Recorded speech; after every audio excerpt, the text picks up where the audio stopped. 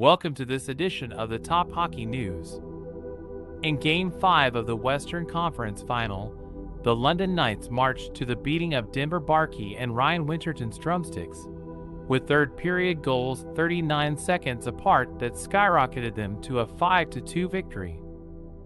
This marks the Knights' third win in their best of seven series against the Sarnia Sting.